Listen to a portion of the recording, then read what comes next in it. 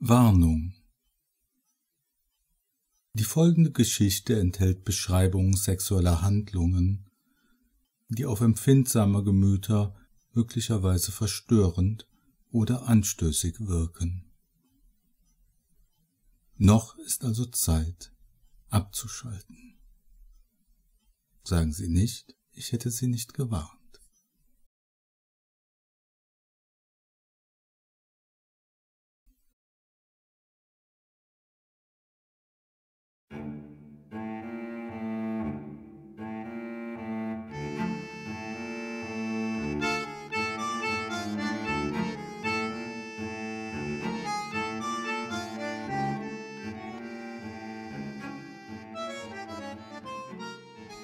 Une petite mort. Über zwanzig Minuten lag sie nun schon bäuchlings auf der mit einem weichen, weißen Frotteetuch bedeckten Lederbank und genoss die Massage. Ihr Masseur hatte sich bisher als unerwarteter Glücksfall erwiesen. Er war kurz nach ihr in die Bar gekommen, in der sie mit ein paar Strawberry Flappers ihren Ärger über Cedric hinunterspülen und sich für ein kleines Abenteuer in Stimmung bringen wollte. Er hatte sich einen Whisky bestellt und sich ihr schräg gegenüber an den Tresen gesetzt, weit genug weg, um nicht aufdringlich zu erscheinen, nahe genug, um sie ansprechen zu können, und genau so, dass niemand, zumindest kein Gast, ihm den Blick auf ihr aufsehenerregendes Dekolleté versperren konnte. Eigentlich war er überhaupt nicht ihr Typ. Nicht viel größer als sie, graue Haare, Allerweltsgesicht. Die Männer, auf die sie stand, waren groß, jung, durchtrainiert. Mehr die Marke Fitnesslehrer. Mehr wie Cedric, der sie mit seiner gottverdammten Eifersucht mal wieder zur Weißglut gebracht hatte. Vielleicht war das der Grund, warum sie so aggressiv gewesen war und dem ersten dieser Gockel, der sie abschleppen wollte, gesagt hatte, er solle seine Mutter ficken. Der junge Hengst war abgezogen wie ein begossener Pudel, während der Grauschopf unergründlich in seinen Single Malt geschmunzelt und sie weiterhin unverwandt angesehen hatte. Sie war dermaßen geladen gewesen, dass sie ihn angeblafft hatte, ob er ihr noch lange auf die Titten starren wolle. Zu ihrer Überraschung war er nicht rot angelaufen und hatte irgendeine Ausrede gestammelt oder verlegen irgendwo an die Wand geglotzt, wie diese verklemmten Familienväter im Außendienst. Und er hatte sie auch nicht dumm angemacht, was ihr überhaupt einfiele. Immerhin könne er ihr Vater sein. Er hatte lediglich einen Schluck aus seinem Glas genommen, ihr in die Augen geblickt und ja, geantwortet. Sie war so verblüfft gewesen, dass sie nur ein lahmes Und warum rausbekommen hatte. Weil sie es wert sind, selbstverständlich. Warum sonst? hatte er seelenruhig erwidert. Seine fast schon arrogante Ruhe hatte sie mehr geärgert, als sie zugeben wollte. Und noch mehr hatte sie sich darüber geärgert, dass sie die kühle Gelassenheit, die der Typ ausstrahlte, ziemlich anmachte. Normalerweise fingen 90 Prozent aller Männer unweigerlich an zu sabbern, wenn sie sie sahen. Die restlichen 10 Prozent waren schwul. Sie war es nicht gewohnt, dass ein Mann Interesse an ihr zeigte und sich dabei nicht aufführte wie ein Hirsch in der Brunft. Um ihn zu einer Antwort zu provozieren, die ihr Weltbild wieder gerade rückte, hatte sie, weil sie mich wie alle nur ficken wollen, sie geiler alter Sack, gehöhnt. Ficken, hatte er abschätzig geantwortet. Welch hässliches Wort für eine so schöne Beschäftigung. Kalt, hart, schnell, wie ein Quickie auf der Schultoilette sie zu ficken, ma chère, wäre ebenso wie diesen wundervollen Springbank in einen Tumbler mit Eis zu schütten und dann hinunter zu kippen. Es reicht für einen schnellen Rausch, und der mag ja gelegentlich ganz nett sein. Aber wahrer Genuss erfordert ein angemesseneres Vorgehen. Und nun lag sie, nur in einen warmen Film Massageöl gehüllt, auf dieser Liege, während Winter, wie er sich nannte, mit sanften, aber kräftigen Griffen ihre Kehrseite bearbeitete. Als er begann, ihre Pobacken zu kneten, seufzte sie leise auf und spürte, wie die Wärme der Erregung in ihrem Schoß aufwallte. Sie spreizte leicht ihre Beine, um seinen Fingern den Zugang zu erleichtern, und bemerkte mit einer gewissen Enttäuschung, dass seine Hände stattdessen weiter ihre Oberschenkel hinabglitten. Bevor sie Unmut über diese Missachtung ihrer Scham empfinden konnte, fühlte sie, wie seine Finger langsam wieder aufstiegen, bis seine Daumen jene delikaten Punkte an der Innenseite ihrer Schenkel eine Handbreit unterhalb ihrer Vulva erreichten und mit sanft kreisenden Bewegungen zu streicheln begannen.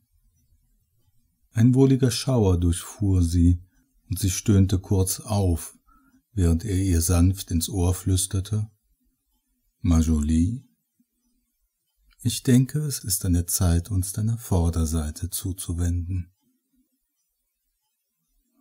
Während sie sich auf den Rücken drehte, kam ihr für einen Augenblick der Gedanke, was Cedric sagen würde, wenn er sie so sähe. Verdammt, sie hatte ihm von Anfang an klar gemacht, dass sie nicht treu sein konnte. Nicht körperlich. Er hatte sich trotzdem auf sie eingelassen hatte gesagt, er halte das aus. Im Grunde genommen hatte sie viel mehr Recht auf ihn wütend zu sein als umgekehrt. Im Gegensatz zu ihm war sie immerhin ehrlich gewesen. Wenn er mit seiner Eifersucht nicht zurechtkam, sollte er sich doch verfickt doch mal von ihr trennen.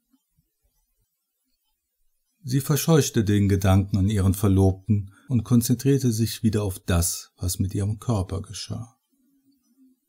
Bis jetzt hatte sich der Abend als unerhoffter Erfolg erwiesen, und wenn dieser Mann mit seinem Schwanz ebenso umzugehen verstand wie mit seinen Händen, versprach er großartig zu werden.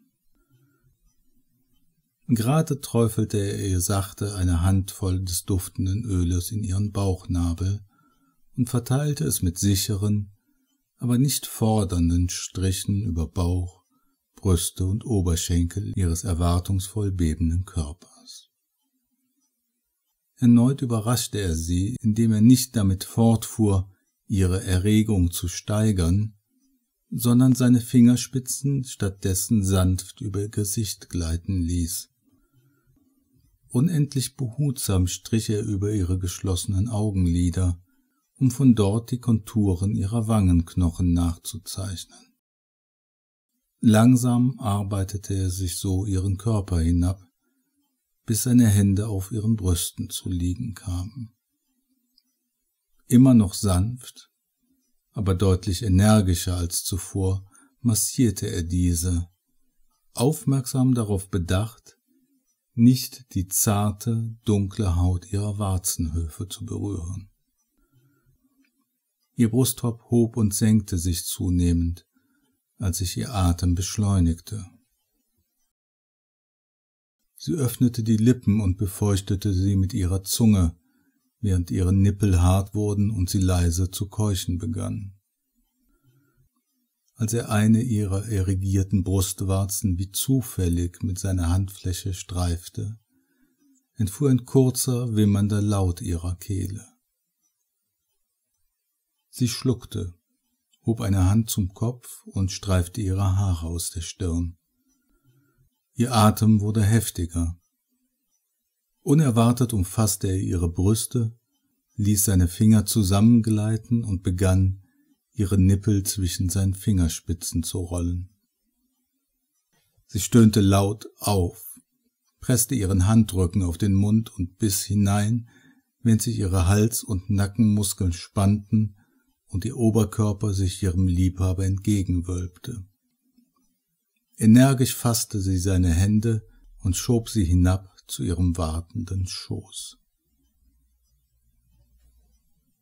Wie lange seine Finger ihr Geschlecht umspielten, mal furchtsam vorwärts tastend, ihren Eingang vorsichtig erkundend, sich scheu wieder zurückziehend, dann ungestüm in sie eindringend, nur um anschließend erneut die äußeren Bereiche ihrer Weiblichkeit zu liebkosen, bis sie sie endlich aus ihrer Ekstase entließen, wusste sie nicht. Vielleicht hatte eine Freundin von ihr doch recht, die immer sagte, Frau solle sich an die Durchschnittstypen halten, die gäben sich mehr Mühe als die Schönlinge. Dieser Mann mit Cedrics Körper, das wäre schon eine großartige Mischung. Warum konnte man sich die Männer nicht wie eine Einbauküche zusammenstellen? Das würde vieles im Leben einfacher machen. Ein leicht erdiger Geruch stieg ihr in die Nase. Was ist das? fragte sie, noch immer leicht benommen. Ein spezieller Räucherduft, er dient zur Entspannung. Gefällt er dir, Madus? war die Antwort. Hm, riecht interessant. Aber warum soll ich mich entspannen? Ich dachte, der aufregendste Teil kommt noch, empörte sie sich spielerisch. Oh, das wird er. Aber du sollst ihn auch richtig auskosten können, sagte Winter sanft. Du entspannst dich zunächst ein wenig und anschließend werde ich dir ein wahrhaft einmaliges Erlebnis bieten, versprach er geheimnisvoll. Angeber, schnaubte sie neckig. Ich hab schon einiges erlebt. Leg die Latte mal nicht zu hoch. Sie grinste, als ihr die Doppeldeutigkeit ihrer Worte bewusst wurde. Wie heißt dieser Duft eigentlich? fragte sie schläfrig. Die Antwort erklang wie aus weiter Ferne.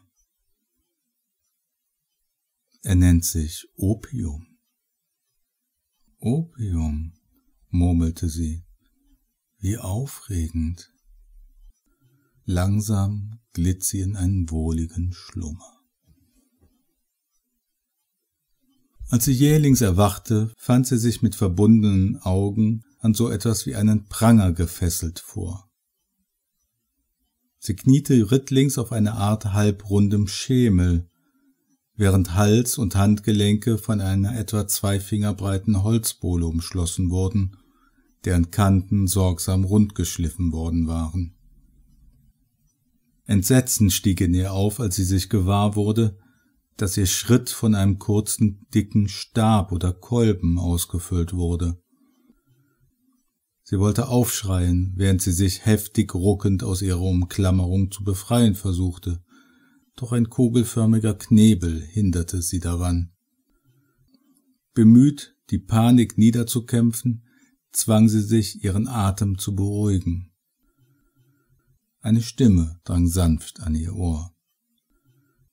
Bitte verzeih mir, Mabel, dass ich dich in dieser Weise überfalle, doch ich war mir nicht sicher, ob du für ein Liebeserlebnis dieser Art offen sein würdest, sagte Winter. Wenn du mir versprichst, zuzuhören und nicht zu schreien, werde ich den Gagball entfernen und wir können uns wie zivilisierte Menschen weiter unterhalten. Er hörte, wie sie einen unartikulierten Laut der Wut ausstieß. Dann aber beruhigte sie sich wieder und nickte zustimmend, jedenfalls soweit es ihre Fesselung zuließ. Sehr gut. Et voilà, sagte er und löste den Riemen ihres Knebels. Du verdammtes Arschloch, fauchte sie. Was bildest du dir eigentlich ein? Das ist echt kein Spaß mehr. Sie schnaubte vor Wut. Da hast du recht. Technisch wie juristisch betrachtet ist das eine Vergewaltigung. Es sei denn natürlich, du lässt dich auf dieses Spiel ein und erteilst mir rückwirkend Absolution, erwiderte er seelenruhig. Allerdings kann ich dir versprechen, dass ich so oder so mit unserem kleinen Tête-à-Tête fortfahren werde. Sie versuchte so viel Verachtung wie möglich in ihre immer noch zornbebende Stimme zu legen. Dann kann's dir ja wohl egal sein. Ja, das könnte es, gab er zurück. Weißt du übrigens, worauf du da sitzt? Die Frage verwirrte sie, und sie bemühte sich, ihre Sitzgelegenheit so weit wie möglich zu ertasten. Das ist ein Sibian, antwortete sie verwundert. Richtig. Und das ist was? bohrte er weiter. Eine Art Hightech-Vibrator zum Draufsetzen, ergänzte sie. Er nickte anerkennt. Sehr gut. Bist du auch mit der Wirkung vertraut? fuhr er fort. Ja, lautete die knappe Antwort. Sie hatte sich noch nie gescheut, neue Erfahrungen in Bezug auf ihre sexuellen Bedürfnisse zu sammeln. Dann ist dir auch klar, dass dieses Gerät dich jederzeit, auch gegen deinen Willen, zum Orgasmus treiben kann. Völlig mechanisch und emotionslos. Sie antwortete nicht. Er hatte recht. Es mochte Frauen geben, bei denen es anders war, aber nicht bei ihr. Sie würde keine Gegenwehr leisten können. Nicht bei ihrer Erregbarkeit. Sie nickte stumm. Das dachte ich mir, sagte er leise. Aber ich möchte nicht, dass du deine Lust widerwillig erlebst oder dich gar vor ihr ekelst. Ich möchte, dass du sie genießt und ganz auskostest. Sie merkte, wie ihr Widerstand schwand. Warum soll ich dir das glauben? flüsterte sie. Sie spürte, dass er nun ganz nah bei ihr stand. Als sein Mund ihre Lippen berührte, zuckte sie nur leicht. Einen Augenblick verweigerte sie sich, als seine Zunge die ihre suchte, dann aber erwiderte sie seinen Kuss. Sie küssten sich lange und leidenschaftlich und ehrlich. Mach weiter, sprach sie, als er sich von ihr löste. Ich will es. Als sie fühlte, wie er etwas an ihren Brustwarzen befestigte, zog sie scharf den Atem ein, aber sie versuchte nicht, sich zu wehren. Und? Wie geht es jetzt weiter? meinte sie spöttisch. Setzt du dich an den Regler wie an die Playstation und versuchst einen neuen Highscore zu erreichen? Winter lachte. Nein. Was habe ich dir über wahren Genuss erzählt? Ich habe mir erlaubt, die Steuerung unseres elektrischen Freundes ein wenig meinen Erfordernissen anzupassen. Er reagiert nun auf Musik, erklärte er. Und was gibt der große Maestro so zum Besten? I can get no satisfaction wird es ja wohl kaum sein. Na, na, na, sagte er tadelnd. Für jemanden in deiner Lage bist du ganz schön kess, Makokon. Aber nein, keine Stones. Ich hatte an etwas Klassischeres gedacht. Magst du Schubert? Mal schauen, gab sie zurück. Hoffentlich keine Blasmusik. Er grinste frivol.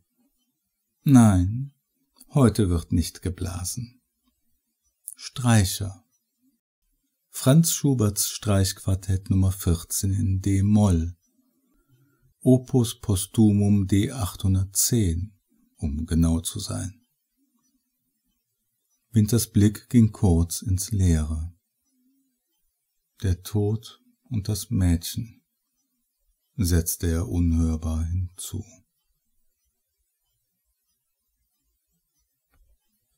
Es war unbeschreiblich. Es war nicht der beste Sex ihres Lebens, dazu fehlte der Gegenpart, mit dem sie ihre Ekstase teilen konnte, aber es war unbeschreiblich. Vielleicht hätte sie sich auf die wechselnden Stimulationen, denen sie ausgesetzt wurde, einstellen können, wenn sie das Stück gekannt hätte. So aber war sie hilflos den Variationen von Musik und Maschine ausgeliefert. Phasen sanfter Entspannung wechselten mit Momenten solcher Erregung, dass ihr Kopf zu platzen schien und sie die Besinnung zu verlieren glaubte. Die Welt außerhalb war unwichtig.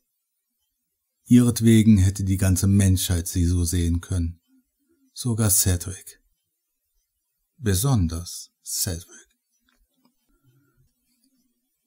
Wahrscheinlich hätte es der geringen Dosis MDMA, die Winter ihr über den versteckten Venenzugang am Fußgelenk injiziert hatte, nicht bedurft, aber die Droge erhöhte die Intensität ihrer Sinneseindrücke noch zusätzlich. 3,4-Methylendioxy-N-Methylamphetamin. Was für ein komplizierter Name, dachte er. Ecstasy war weit kürzer und treffender. Eine Wirkung der Substanz konnte er ihr deutlich ansehen. Ihr Körper glänzte von Schweiß. Très sexy. Winter mochte es, wenn Frauen bei der Liebe schwitzten. Er hatte mal einen Franzosen gekannt, der es de larme de volupté nannte, die Tränen der Wonne. War das nicht reine Poesie? Kein Wunder, dass die Franzosen als gute Liebhaber galten. Es war in der Zeit. Das Stück näherte sich seinem Ende. Winter nahm die Spritze mit der tödlichen Dosis Digitalis aus ihrem Etui. Er würde sie ihr geben, wenn sie den nächsten Höhepunkt erreichte.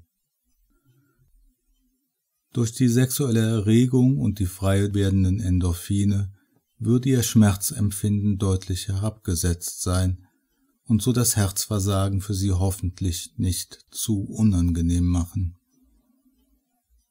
Er konnte es nicht wissen, aber sein Wunsch wurde erfüllt. Der Schmerz kam mild wie ein tadelndes Wort, und ihre letzten Empfindungen waren freundlich wie ein schüchterner Liebhaber.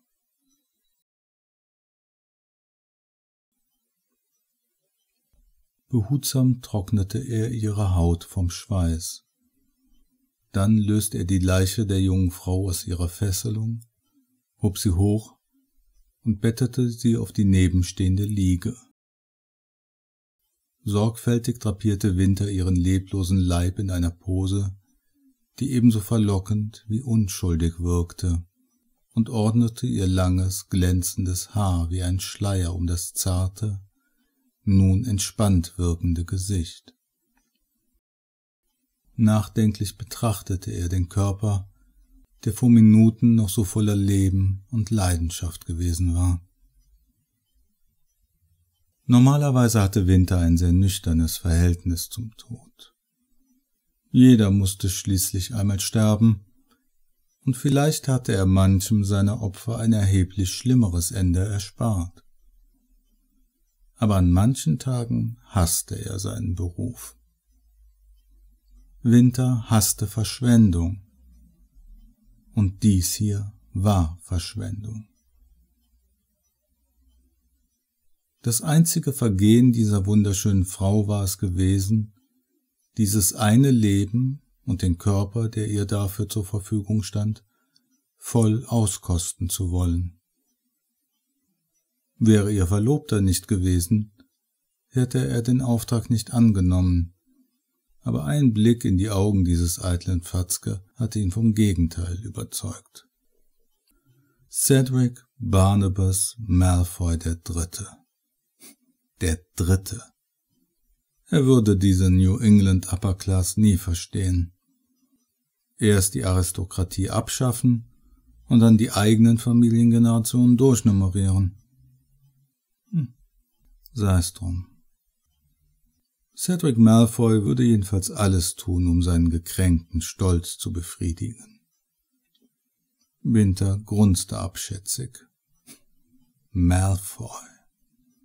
Wie dieser Bursche aus den Harry Potter Romanen. Genauso blond, genauso gut aussehend, genauso ein feiges, eingebildetes Arschloch wie sein literarischer Namensvetter. Man konnte glatt meinen, er habe Joan K. Rowling Modell gestanden. Dieser Gag wollte nicht das Leben genießen, wie seine Verlobte es gewollt hatte. Er wollte es besitzen. Genauso wie er sie hatte besitzen wollen. Exklusiv. Eine weitere Preziose, mit der er sich schmücken und mit der er angeben konnte. Und wenn er sie nicht alleine haben konnte, sollte sie keiner haben. Winter hatte sofort gesehen, dass die junge Frau nicht zu retten gewesen war. Alles, was er hatte tun können, war, ihr ein angemessenes Ende zu verschaffen und ihre Schönheit auch im nüchternen Blick einer Tatortfotografie zu bewahren. Winter hatte bereits seit Tagen darüber nachgedacht, nun aber entschloss er sich endgültig. Für sie würde er erstmals eine seiner Regeln brechen. Er würde Cedric ein weiteres Mal treffen. Gratis als Übungsaufgabe gewissermaßen. Er wusste noch nicht, auf welche Weise sich der junge Mann seiner Verlobten zugesellen würde. So viel jedoch war sicher.